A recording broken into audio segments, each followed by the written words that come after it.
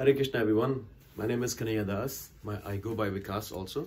Um, I am from Indian origin and uh, I am living right now in uh, suburbs of Seattle, Snohomish, Washington State. Today, I will be teaching you how to make a uh, neck bead or chanting beads, uh, homemade beads out of your own tulsi. So a lot of people, a lot of devotee community have their own tulsis and sometime what happens is tulsi, mother tulsi leaves when she wants because she is independent. Um, so whenever she wants, she leaves, but she gives us the her, her twigs. And then these are her stems and twigs uh, that can be converted, that can be used into making uh, beads like this beads like this. And these are the um, uh, neck beads that I've made uh, from the tulsi that my mother has sent me from India. Uh, in here in this state we don't uh, have that uh, good weather so we can grow tulsi in a, in a really really nice form. And uh, you know the twigs go a little you know bigger. So it doesn't happen quite often. But when it happens we save those twigs we save those uh, branches and then we use them for tulsi or we use them for havan. Nothing uh, from tulsi is wasted. So anything. So even if even if something that you cannot use like this something that you cannot use like this that can be saved and then given to the people who need for their rituals last rituals or you can also use this for uh, your havan, uh, your fire sacrifice. So anyway, uh, before wasting time, uh, before taking a lot of time, not wasting, I'm not wasting time, I believe. Um, before, uh, uh, and then we'll we'll start from how to make these, how to turn these twigs into this. A lot of people have asked me to do this, so I thought we'll just do it and put it on YouTube. A lot of people will benefit out of this. Anyway, so the tools that I am using, uh, two kind of tools I will suggest. I have Dremel tools, and I'll show you what those are. And I have the manual tools. Uh, you know, instead some people don't have the Dremel tools, um, and you can go for the manual version of it. And it doesn't have to be completely, uh, you know, like out of the machinery thing. So you don't have to use any kind of machinery. You can use your hand tools too. So Drem the first Dremel tool that I have is this guy. I don't know if you can see this, Dremel. And it has a little uh, uh, bit that will go for 3,000, uh, 30, 35,000 RPM or something. So anyway, so this is a very good tool because it doesn't make any cracks or anything.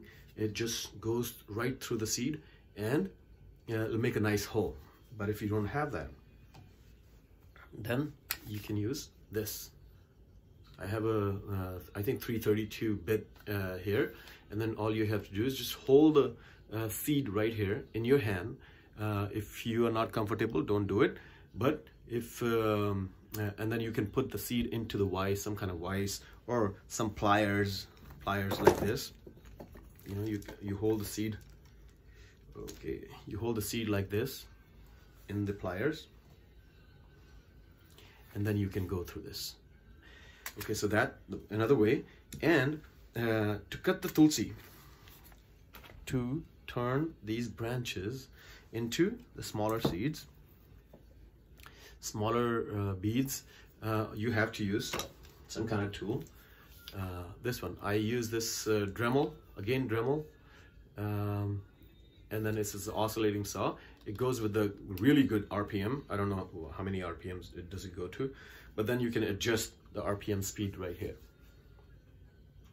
So anyway, you can use that. All you have to do is just cut, you know, hold it, and I'll show you. I'll show you how to make it. So um, it will will make one or two beads so that you can understand the process. And then you just hold it right here, and then it go. It'll cut it really nice, smooth. If you if a lot of people don't have that, you can use the coping saw. This is called coping saw. So all you have to do is just hold your thumb wherever you want to make a cut and then just and it'll make a really good cut. This coping saw is really good. You can make an angle cut too, really good. So um, uh, and then you know any branches that you have so you look at this any size of branches will do because this can be your middle bead. You know you can cut it make it into middle bead. And then these smaller ones these smaller ones can go at the very end. So if you notice here this the uh, the um, the necklace bead I have is the smaller on the top and bigger on the bottom. The very bottom one is really big so it depends upon your uh, liking and your availability of the um, of the uh, tulsi. And then you can make your you know um, make your bead necklace bead. It can be turned into a chanting bead also. It would be really nice but i didn't have that many beads at that time. I didn't have that many uh, tulsis at that time. And um, i will actually after this video i will make one complete um, bead uh, necklace and then uh, one of one of the devotees in tulsi discussions has requested and i'll send it to him. So uh, this will be my today's job. Today's sunday and it's a beautiful day. I can't go work outside so it would be nice to make a video right here with you.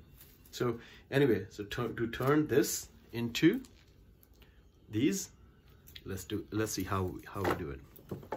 And then okay so first thing is you take the um, take any branch that you want to start working with and then you clean it up a little bit. I'll show you the better version of cleaning up.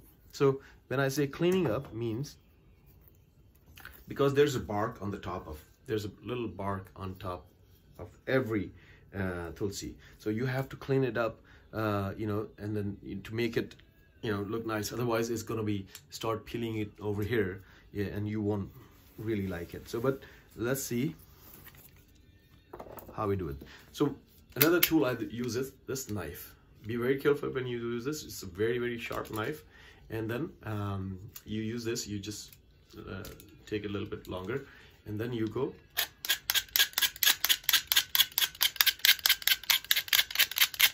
you're cleaning it up basically if you want more clean you can go you know like this See?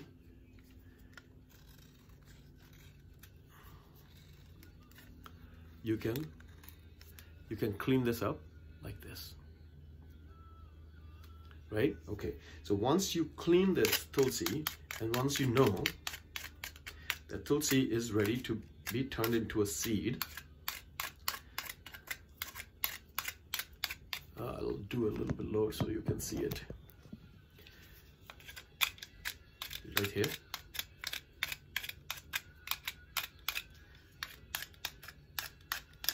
So once you know this is good, this is good, this is what you want, and then you take this, your tool, and you just go, and then you will see, notice, every Tulsi branch will have a little tiny uh, point of hole where you can make mark your hole. So right here right here, somewhere over here, there's a little tiny bit where you can mark a hole.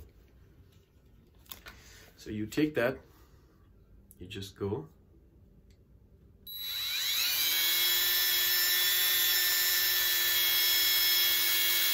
And you have to be careful when you're doing it because, uh, you know, you don't want to go through your hands.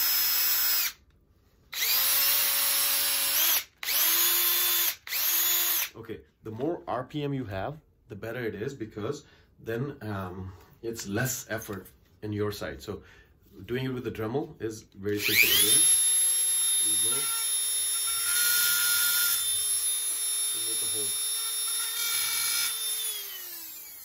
so it'll go through it'll go through this and it'll make a hole like this. And once you have it once you have the hole ready to go and then all you have to do is just to make a cut. Let me make a hole completely whole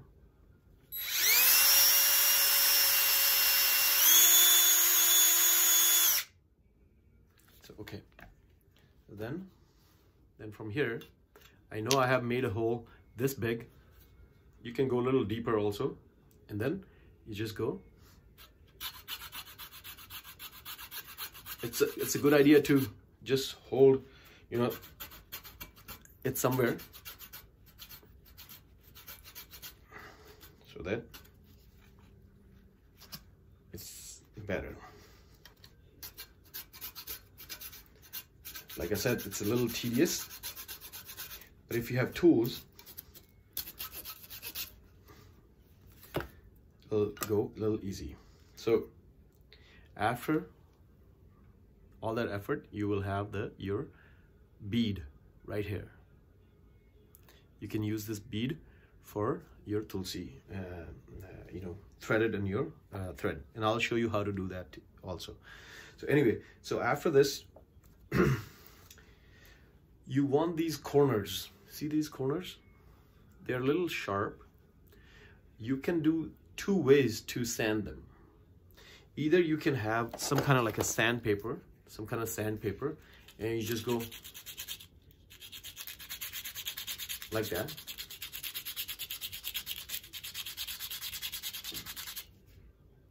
ठीक है the outside one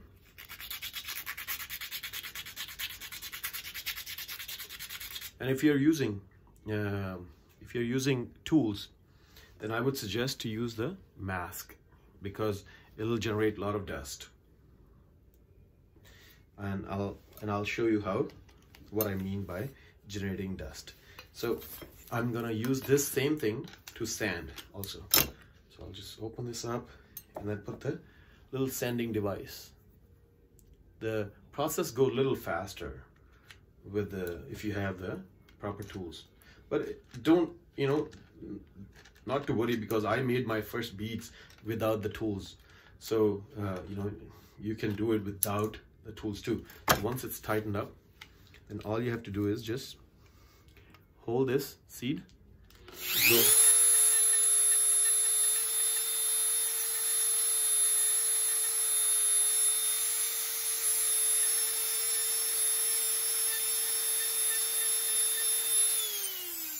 Okay, that's it. So it, it's sanded from the sides. See those? So it's, this is all good to go in the thread. For the thread, I have this, I got this long time ago from Joann's. Uh, it's very cheap thread, but it's very, very strong. I think $5, $10, whatever. So it's, it's very, very strong. So it's a good idea to use a strong thread for Tulsi because uh, you don't want it to, you know, get it broken.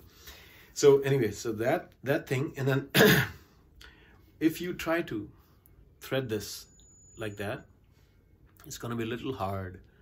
It's going to be a little tough. Reason is because, um, because this thing is not straight and then, uh, you know, somehow or other, either you have to use the needles or you have to really work through it. So the idea is to use this. Bee, this is a. Bee wax, you can get it from anywhere. If you don't have access to that, use this tea candle. This is also wax. So all you have to do is just put this right here. Hold it with your thumb, hold it with your thumb, and then, you know, pull it. Once you pull it, then you have a little stronger, little stronger front. So all you do is use one end and go, go through this. See how easily it's coming? And this is your thread. This is your, uh, starting to turn into a necklace. So that's the process that we use.